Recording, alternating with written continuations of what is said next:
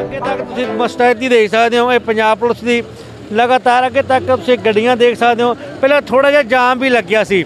ਜਾਮ ਤੋਂ ਬਾਅਦ ਵੱਡੀ ਅਪਡੇਟ ਬਣ ਜਾਂਦੀ ਹੈ, ਵੱਡੀ ਖਬਰ ਬਣ ਜਾਂਦੀ ਹੈ ਕਿ ਲੰਘਣੇ ਸ਼ੁਰੂ ਹੋ ਚੁੱਕੇ ਜੋ ਵਹੀਕਲ ਖੜੇ ਸੀ, ਉਹ ਲੰਘਣੇ ਸ਼ੁਰੂ ਹੋ ਚੁੱਕੇ ਹੈ ਤਾਂ ਇਹ ਤਸਵੀਰਾਂ ਦੇ ਜ਼ਰੀਏ ਮੈਂ ਤੁਹਾਡੇ ਤੱਕ ਸਾਰੀ ਕੱਲੀ ਕੱਲੀ ਜਾਣਕਾਰੀ ਬਰੀਕੀ ਦੇ ਨਾਲ ਤੁਹਾਨੂੰ ਮੈਂ ਸਮਝਾਉਣਾ। ਗੱਲਬਾਤ ਜੋ ਸਾਰੀ ਦੱਸਦਾ ਵਾਂ ਕਿ ਬਿਲਕੁਲ ਕਹਿ ਸਕਦੇ ਹਾਂ ਕਿ ਸੇਤੀਆ ਰੈਸਟੋਰੈਂਟ ਦੇ ਅੰਦਰ ਸੁਨੀਲ ਜਾਖੜ, ਉਹ ਸੁਸ਼ੀਲ ਰਿੰਕੂ ਨੇ ਆਉਣਾ ਸੀ। ਤਾਂ ਉਹ ਸਾਹਮਣੇ ਤਸਵੀਰ ਹੈ। ਇਸ ਜਗ੍ਹਾ ਤੇ ਅੱਗੇ ਆਉਣਾ ਸੀ ਉਹਨਾਂ ਨੇ। ਤਸਵੀਰ 'ਚ ਤੁਸੀਂ ਦੇਖ ਸਕਦੇ ਹੋ ਕਿ ਅੱਗੇ ਇੱਥੇ ਆਉਣਾ ਸੀ। ਪਰ ਆਉਣ ਤੋਂ ਪਹਿਲਾਂ ਵਿਰੋਧ ਹੋ ਗਿਆ। ਵਿਰੋਧ ਤੋਂ ਬਾਅਦ ਇਹ ਤਸਵੀਰਾਂ ਨਿਕਲ ਕੇ ਗੜੀਆਂ ਤੋਂ ਸਾਹਮਣੇ ਆਈਆਂ ਤਾਂ ਕਿਸਾਨ ਇੱਕ ਸਾਈਡ ਤੇ ਖੜੇ ਆ ਕਿ ਕੁਝ ਟਾਈਮ ਦੇ ਬਾਅਦ ਇੱਥੇ ਬੀਜੇਪੀ ਦੇ ਲੀਡਰ ਪਹੁੰਚਦੇ ਆ। ਜਿੱਦਾਂ ਕਿ ਡਾਕਟਰ ਅਮਰਜੀਤ ਸਿੰਘ ਪਹੁੰਚੇ ਤਾਂ ਉਹਨਾਂ ਦਾ ਇੱਥੇ ਭਾਰੀ ਵਿਰੋਧ ਹੋਇਆ। ਆਪਣੇ ਆਪ ਨੂੰ ਕਹਿੰਦੇ ਸੀ ਕਿ ਮੈਂ ਕਿਸਾਨ ਦਾ ਪੁੱਤ ਹਾਂ, ਪਰ ਨਹੀਂ, ਕਿਸਾਨ ਮੰਨਦੇ ਨਹੀਂ ਸੀ। ਕਹਿੰਦੇ, ਤੂੰ ਕਿਸਾਨ ਦਾ ਪੁੱਤ ਨਹੀਂ ਹੋ ਸਕਦਾ।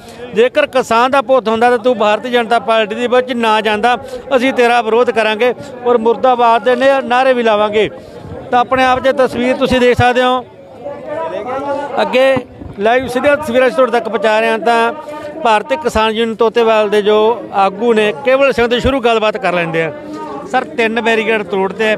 ਦਿੱਲੀ ਵਿੱਚ ਬੈਰੀਕੇਡ ਜਦੋਂ ਤੋੜਦੇ ਸੀ ਤਾਂ ਵੱਡੇ ਬੈਰੀਕੇਡ ਹੁੰਦੇ ਸੀ, ਜੋ ਪੁਲਿਸ ਦੇ ਨਾਕੇ ਲੱਗਦੇ ਆ। ਇੱਥੇ ਤਾਂ ਰੱਸਾ ਰੁੱਸਾ ਪਤਾ ਨਹੀਂ ਲੱਗਿਆ ਕਿੱਧਰ ਗਏ ਸਾਰੇ। ਵਾਹਿਗੁਰੂ ਜੀ ਕਾ ਖਾਲਸਾ, ਵਾਹਿਗੁਰੂ ਜੀ ਕੀ ਫਤਿਹ।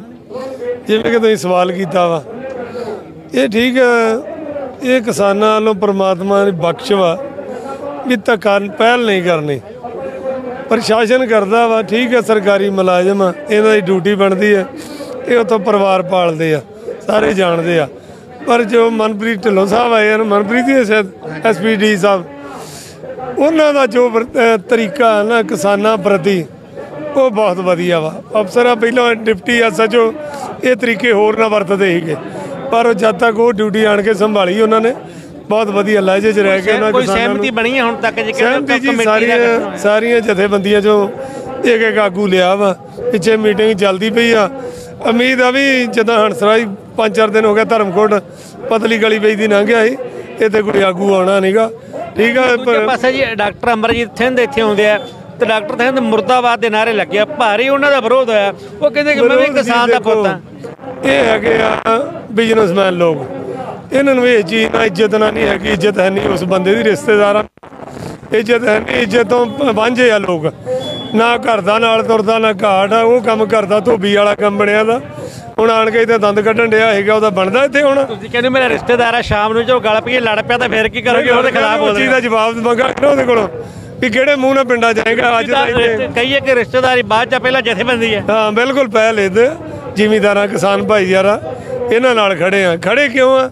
ਬੀਜੇਪੀ ਨੇ ਕਿਦਾਂ ਦੇ ਬੈਰੀਅਰ ਲਾਏ ਸੀ ਆਪਣੇ ਜਾਂਦਿਆਂ ਨੂੰ ਦਿੱਲੀ ਨੂੰ? ਇਸ ਕਰਕੇ ਇਹਨਾਂ ਨੂੰ ਪੁੱਛਣ ਸਵਾਲ ਹੀ ਪੁੱਛਣੇ ਕੋਈ ਗੱਲ ਨਹੀਂ ਕਰਨੀ। ਇਹ ਤੇ ਕੋਈ ਗੋਲੀ ਨਹੀਂ ਕਿਸੇ ਕੋਲ ਵੀ ਫੜੀ।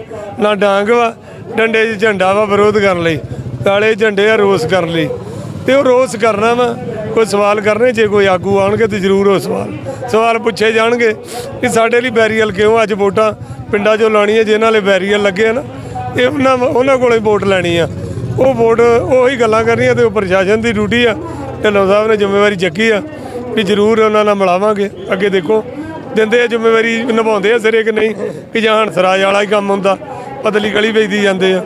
ਤਾਂ ਧਰਮਕੋਟ ਦੇ ਵਿੱਚ ਹੰਸਰਾਜ ਹੰਸ ਦਾ ਭਾਰੀ ਵਿਰੋਧ ਹੋਇਆ ਸੀ, ਪਰ ਉਸ ਤੋਂ ਬਾਅਦ ਹੁਣ ਮਹਿਦਪੁਰ ਦੇ ਵਿੱਚ ਸੁਨੀਲ ਜਾਖੜ, ਜੋ ਕਿ ਭਾਰਤੀ ਜਨਤਾ ਪਾਰਟੀ ਦੇ ਇੱਕ ਵੱਡਾ ਲੀਰਾ, ਵੱਡਾ ਲੀਡਰ, ਵੱਡਾ ਚਿਹਰਾ, ਕਿਉਂਕਿ ਇਹ ਉਹਨਾਂ ਦੇ ਪੰਜਾਬ ਦੇ ਪ੍ਰਧਾਨ ਹੈ।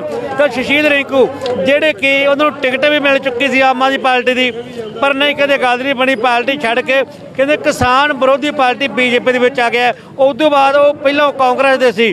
ਤਾਂ ਇਹ ਤਸਵੀਰ ਤੁਹਾਡੇ ਨਾਲ ਸਾਂਝੀ ਕਰ ਸਕਦੇ ਆ ਕਰ ਰਿਹਾ ਕਿ ਵੱਡੀ ਤਸਵੀਰ ਤੁਸੀਂ ਦੇਖ ਸਕਦੇ ਹੋ ਕਿ ਜੋ ਪੁਲਿਸ ਮਸਤੈਦੀ ਕੀਤੀ ਹੋਈ ਹੈ, ਵੱਡੀ ਦੋ ਲਾਈਨਾਂ 'ਚ ਪੁਲਿਸ ਸਗਮ ਖੜੀ ਹੈ। ਤੇ ਜਿੰਦਾਬਾਦ ਦੇ ਨਾਰੇ ਲੱਗ ਰਹੇ ਨੇ। ਤਾਂ ਦੇਖ ਸਕਦੇ ਹੋ ਸਾਹਮਣੇ ਤਸਵੀਰਾਂ। ਸਾਹਮਣੇ ਤਸਵੀਰਾਂ ਕਿਸਾਨ ਥੱਲੇ ਹੁਣ ਦਰੀ ਤੇ ਬੈਠ ਗਿਆ ਹੈ ਤੇ ਅੱਗੇ ਇੱਕ ਬੈਰੀਕੇਡ ਹੈ। ਬੈਰੀਕੇਡ ਉਹ ਹੈ ਜਿਹੜਾ ਕਿ ਇੱਕ ਬਣਾਇਆ ਗਿਆ ਰੱਸੀ ਨੂੰ ਲਗਾ ਕੇ। ਪਰ ਕਿਸਾਨ ਕਹਿੰਦੇ ਅਸੀਂ ਰੱਸਿਆਂ ਦੇ ਡੱਕਿਆ ਨਹੀਂ ਡੱਕਦੇ। ਅਸੀਂ ਤਾਂ ਦਿੱਲੀ ਦੇ ਵਿੱਚ ਬੈਰੀਕੇਡ ਤੋੜ ਦਿੱਤੇ ਸੀ। ਪਰ ਅਜੇ ਤੱਕ ਕਿਸਾਨ ਜੋ ਸੁਨੀਲ ਜਾਖੜ ਨਹੀਂ ਪਹੁੰਚਿਆ। ਪਰ ਜਿਵੇਂ ਹੀ ਉਹ ਇੱਥੇ ਪਹੁੰਚਦਾ ਉਹ ਵੀ ਮੈਂ ਅਪਡੇਟ ਲੈ ਕੇ ਹਾਜ਼ਰ ਹੋਵਾਂਗਾ। ਦੇਖਦੇ ਰਹੋ ਐਨਐਨਆਰ ਨਿਊਜ਼